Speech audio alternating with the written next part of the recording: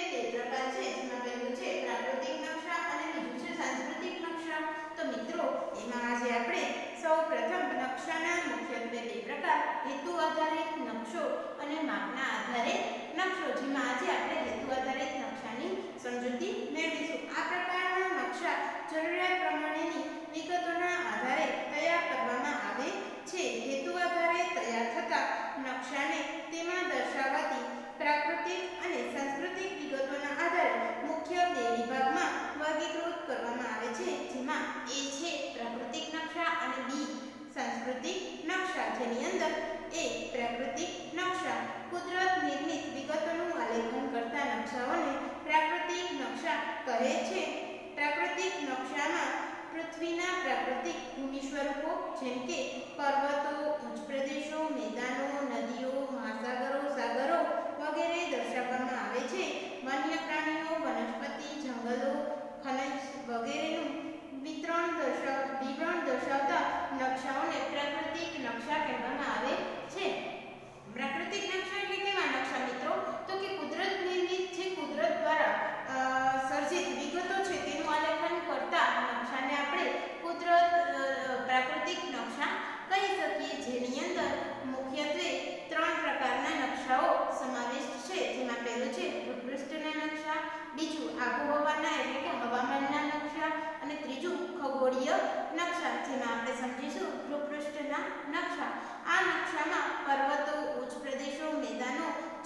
પરિવહનો વગેરે દર્શાવવામાં આવેલા હોય છે. હવે આપણે સમજીશું બીજા નંબરનો નકશો કે જેમાં છે હવામાન અને આબોહવાના નકશા.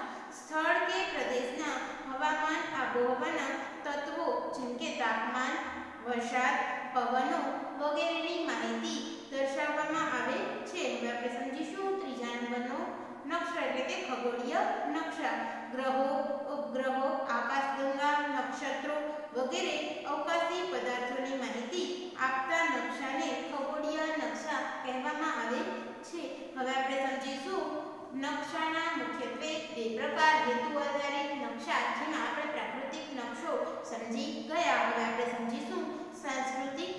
નકશા તો મિત્રો સાંસ્કૃતિક નકશા કોને કહેવાય માનવ સર્જિત વિગતોનું આલેખન કરતા નકશાને સાંસ્કૃતિક નકશા કહેવામાં આવે છે.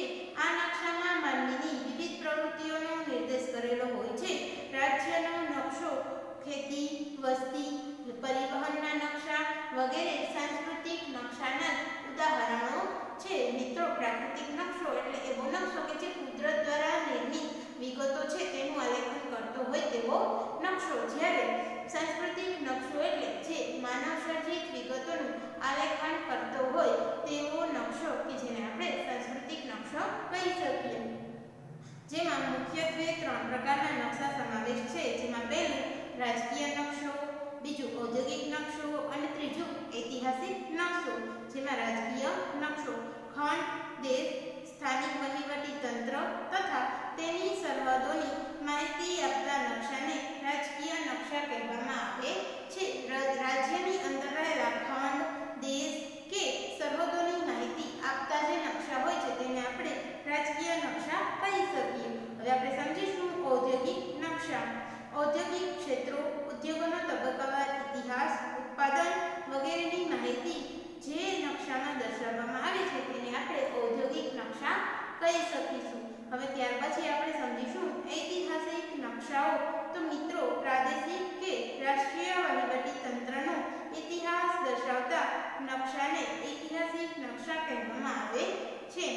હવે આપણે સમજીશું.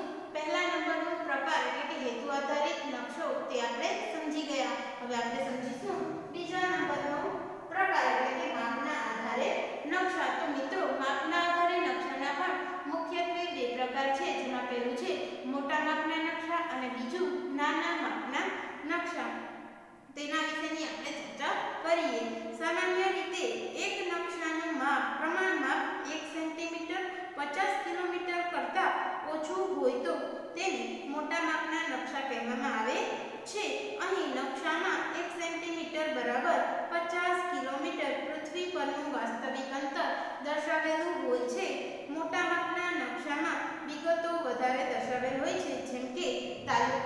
રહે કે ગામના નકશા, મોટા માપના નકશાના મુખ્યત્વે ઉદાહરણો છે. નાના માપના નકશામાં પૃથ્વી સપાટીનો વિશાળ વિસ્તાર દર્શાવવામાં આવે છે. જેમ કે જુદા જુદા ખંડ કે દેશના નકશાને નાના માપના નકશા કહેવામાં આવે છે.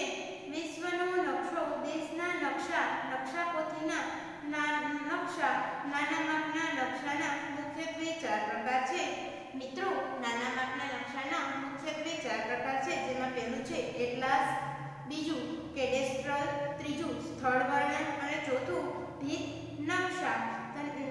તો આજે આપણે આ વિડીયોમાં નકશાના મુખ્યત્વે બે પ્રકાર, જેમાં પહેલું છે હેતુ આધારિત નકશો અને બીજું માપના આધારે નકશાના પ્રકારો. તો જેમાં આપણે હેતુ આધારિત નકશાના પણ મુખ્યત્વે બે પ્રકાર હતા, પ્રાકૃતિક નકશો અને સાંસ્કૃતિક જેની અંદર પ્રાકૃતિક નકશાના પણ મુખ્યત્વે ત્રણ પ્રકાર સમાવિષ્ટ હતા. ભૂપૃષ્ઠના નકશા, હવામાન અને આબોહવાના નકશા, ખગોળીય નકશા. આ ત્રણ નકશા વિશેની સમજૂતી મેળવી તે ઉપરાંત સાંસ્કૃતિક નકશામાં પણ ત્રણ નકશાઓ સમાવિષ્ટ હતા, જેમાં હતા રાજકીય નકશા, ઔદ્યોગિક નકશા અને ઐતિહાસિક નકશા. તે પછી આપણે